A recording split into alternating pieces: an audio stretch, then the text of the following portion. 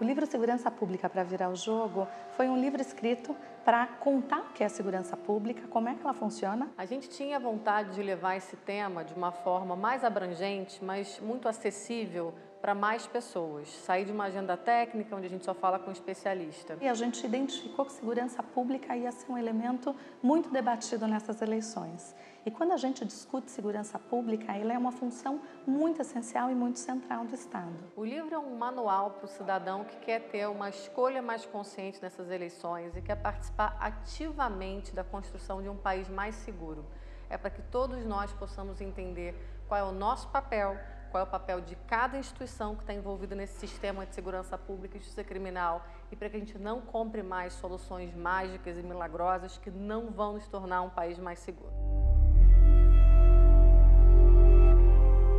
Segurança pública no Brasil, ela é feita por uma série de instituições diferentes cada uma trabalha numa parte do problema e muitas vezes elas não trabalham de maneira é, coordenada, de maneira integrada. A gente fala de segurança pública, as pessoas entendem como polícia e no livro a gente conta, bom, é muito mais do que isso, né? envolve tantas instituições, diferentes níveis de poder é, executivos, três poderes do Estado e nós cidadãos. Então, se a gente não tiver todos os atores trabalhando de maneira coordenada, é muito difícil que a gente consiga garantir a segurança das pessoas e consiga ter resultados efetivos.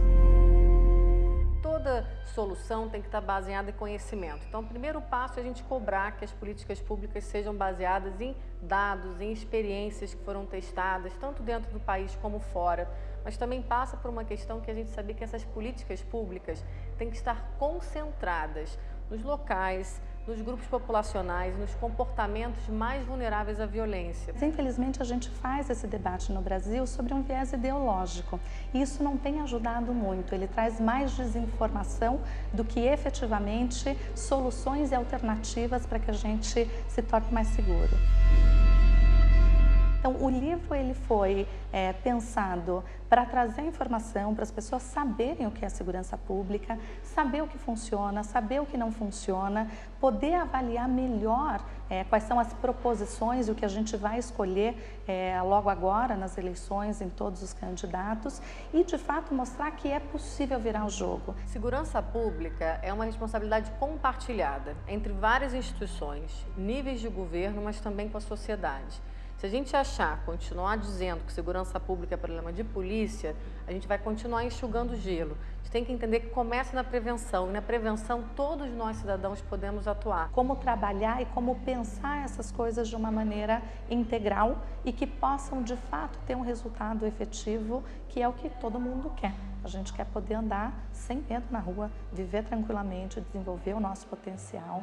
É, e é isso que a gente deseja e foi nesse intuito que a gente escreveu o livro. Como é que a gente vira o jogo?